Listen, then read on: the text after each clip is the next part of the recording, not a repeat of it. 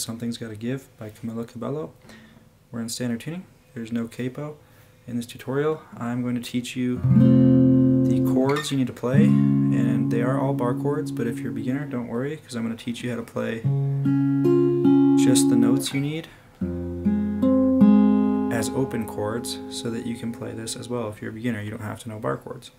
So if you know how to play a D flat, an A flat, an E flat, and an F minor chord, then I'm going to assume you know how to do those bar chords.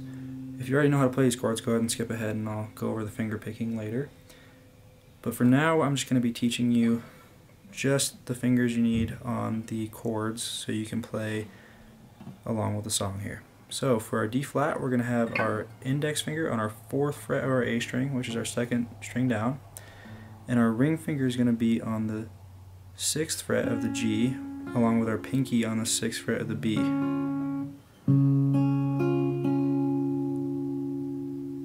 So this D chord is just open, we're not going to be playing that.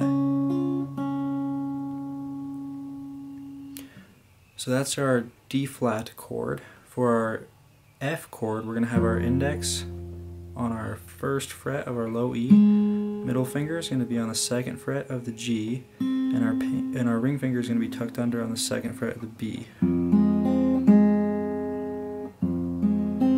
And we're only playing the E, the G, and the B strings there.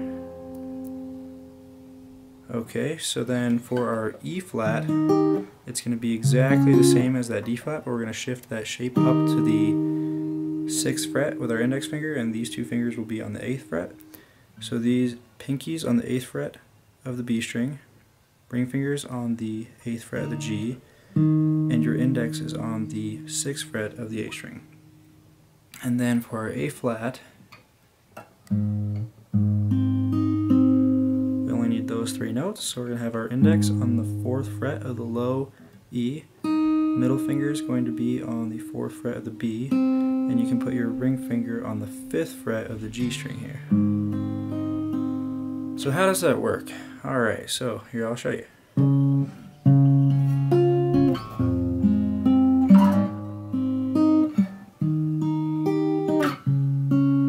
that sounds exactly the same as this.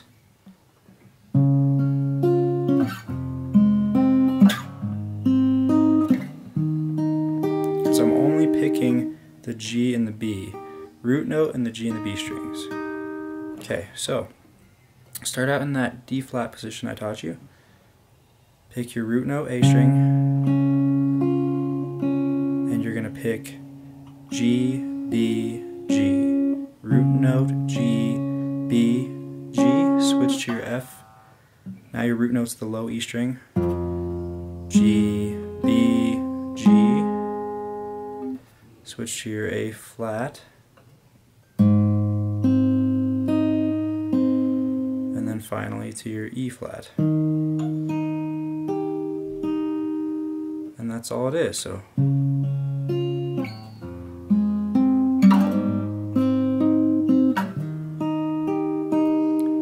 Okay, so nice and slow here.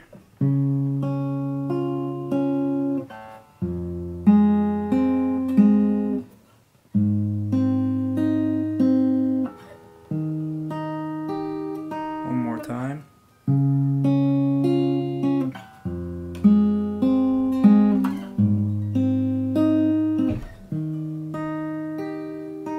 And that's all there is to it.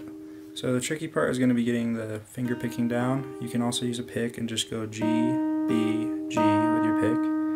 Um, and your root note does switch from the A to the E string, so just be aware of that.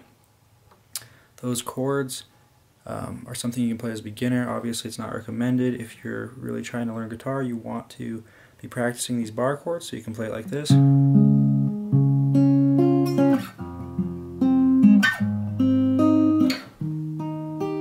Because that's the ideal way to play. But if you don't have that hand strength, those chords are yours to keep. So that's going to be it for this tutorial. If you have questions, go ahead and comment below. If you'd like to see more tutorials, please subscribe to my channel. Thanks for watching.